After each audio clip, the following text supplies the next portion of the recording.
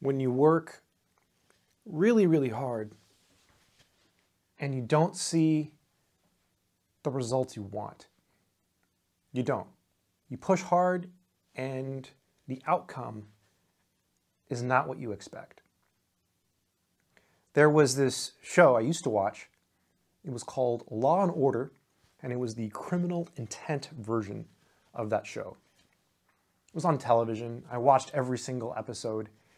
And there was an episode where a character on the show says to one of the lead detectives, You know, I just worked really, really hard and I didn't get the results I want. I'm paraphrasing here, but it was something along those lines, very similar. The detective looks at the person and says, Welcome to the human race. And that stuck with me, even though it's a TV show and it's fiction, because it's true. Sometimes we push really, really hard. We make changes we know that are good. You might buy the right books, read the right things, study the right topics, take the right classes, follow the correct workout routine, whatever it is you're trying to accomplish, you're doing everything you're supposed to do. And it feels like you can't get ahead. Welcome to the human race.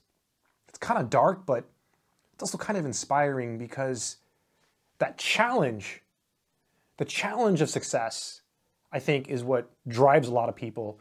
And I think it should drive you. You know, if, if you know something is hard, that can be motivating. Because if you can beat that thing or learn that thing or conquer that thing that is hard, then you've succeeded. And I think it's good to be that way. I think it's good to try to be the best you can be. And I've got countless examples, but in this video, I want to focus on one that I received from a viewer here on the channel. He sent me a really good email, and there was some stuff in the email that I read that I thought, oh, I have to reply to this email like right now. So I like this guy. His name is Ryan S., and I'm going to read the email very carefully and we're going to talk about it. The subject is Education Advice and Math in High School. Hello, my name is Ryan, and I am in Michigan. I go to one of the highest rated schools as a sophomore in the state, and the best public school in the state that doesn't require a test admission. The school places a lot of expectation on students to succeed. I remained in a standard education bracket until the end of freshman year, where I decided to push myself. I tested out of geometry and I am taking. So here's what Ryan is taking. Algebra 2, which is basically college algebra, Physics 1, Physics 2, a History AP course, and a Research AP course. The entire year I have been struggling, and I expected to for one semester. I never truly studied due to math being easy, so I thought it was a good idea to take more requiring classes to force myself to grow. This is really good, really good. Even if it affects my grades, for the semester, which it did. And I did grow. I study two to three hours every day. And I believe I study effectively. I go out and download books, and I study from those books. However, his grades have only improved by a minor percent.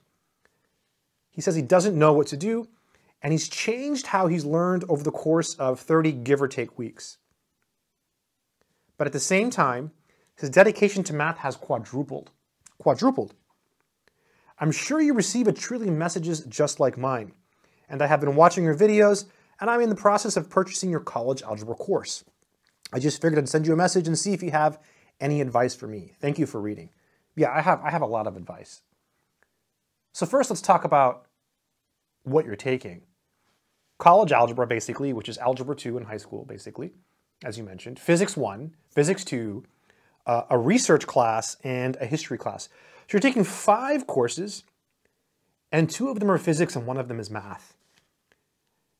And so I think, obviously, you know, you decided to push yourself, which is really good, Ryan.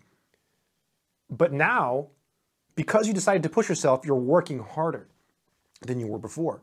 So basically, all the extra work you're doing is to keep up with what, with, with, with what your course load is now, right? So when you, when you set really high expectations for yourself, you're going to have to work harder to meet those expectations. And you're working harder, but you're not getting the results you want. It says here, your, your grades have improved, but only by a minor percent. Let me just say this. Let me just, let me just start with this. For me, personally, studying mathematics, I could never really do more than three real math classes. So if I, if I would take four classes, I would take maybe, maybe two math classes and two like easy classes or three math classes and one easier class. And that was it. That was it. I couldn't do more than that. You're taking five classes and you're also taking physics one and two. That's tough. So that's a lot of work, right? That's a lot of work. Also, I think that the fact that your grades improved and you managed to increase your workload at the same time, I think that's a success. I think you should consider that a success. I think you're doing well. It's just you're not getting the results you wanted, which again is normal. It, it really, really is. It's normal. Another thing that might help you is to realize that when people take college algebra, it is a hurdle. You know, I've taught dozens, maybe maybe a hundred college algebra courses. I have to I'd have to count them, but I've, I've taught I taught college algebra for several years, and out of all the courses I taught, that oftentimes was my favorite course to teach. You know, I would teach Calc 1, Calc 2, Calc 3, differential equations, and then college algebra, some stats. But college algebra, multiple semesters, was my favorite class. And the reason was because it was such a hard course for the students. That might sound weird and twisted. So you might say, why do you want to teach a class that's hard for the students? It's because that's a class where students are really, really challenged and they're forced to grow. And it is a struggle. Personally, I didn't even get an A in college algebra when I took it. So it's a struggle for everyone. So realize that you are in one of the, the hardest growth stages of your mathematical career. Again, from teaching all of these classes, Calc 1, Calc 2, Calc 3, differential equations, algebra, stats, pre-calc trig, I feel like time and time again, college algebra was the course where people really, really struggle. And I would tell the people, oh yeah, college algebra, that's what the struggle is. And, and to say, well, what, what about calculus? Isn't that harder than college algebra? Sure, calculus is more advanced, but that learning curve that is, is steeper there. It's, it's harder to get through it for some reason. It's just a big, big hurdle. I just want to say props to you, Ryan, though. I mean, you're, you're a sophomore. You're taking basically college algebra, physics one, physics two, research history. You've upped your game. You're studying two to three hours a day. I think you're doing awesome. I think you should congratulate yourself on, on your hard work. If you want to improve your grades though, right? If you want to improve your grades, I do recommend maybe toning it down uh, next, next year, right? Maybe taking less classes or some easier classes. Keep moving forward, right? Keep progressing, but it, it's not a race, right? You will get there. It's not a race. You don't have to overdo it. You know, when I was in college, uh, I knew a guy, he would take like five or six math classes and it was just crazy. It was crazy. I mean, it was just nuts. He, he, he wouldn't get A's in all of them. I would take three, and I'd get mostly A's and B's.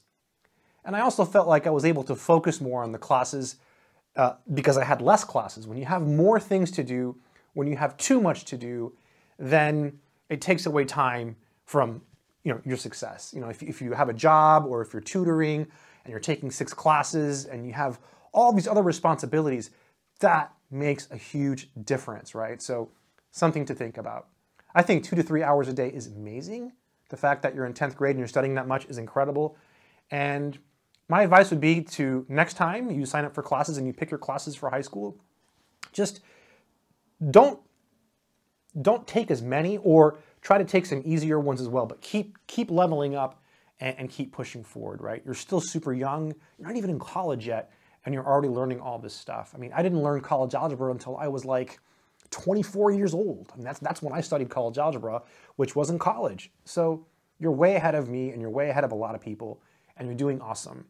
And it's something that often happens, right? People will take a class and they'll start studying more and they'll take harder classes. And again, they won't get the results they want. Welcome to the human race.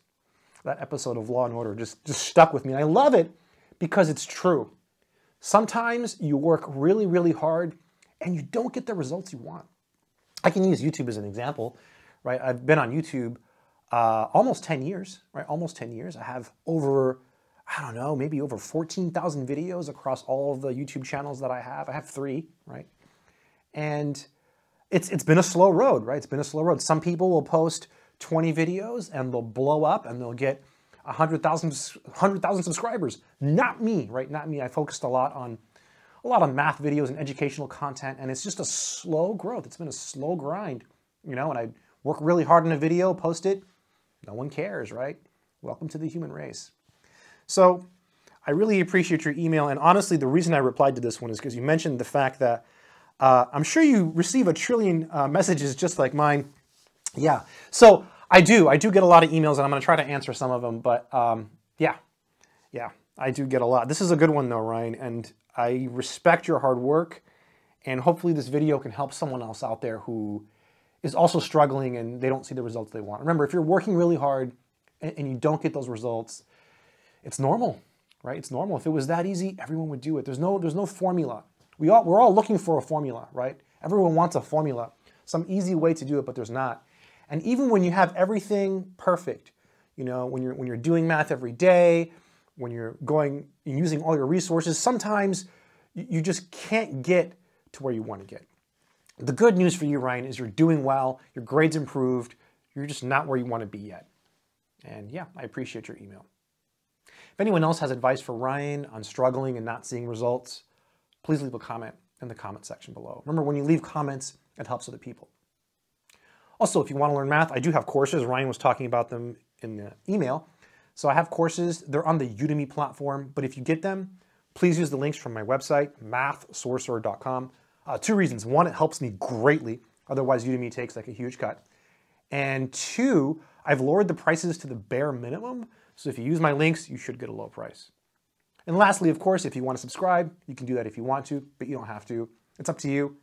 The most important thing that I want you to take away from this video, the most important thing is that it is normal Sometimes we do everything right in life. We do everything right. We, we work hard, we make all the right choices, and things just don't work out. And what do you do in those cases? You get back up again and you try again. And you just keep pushing.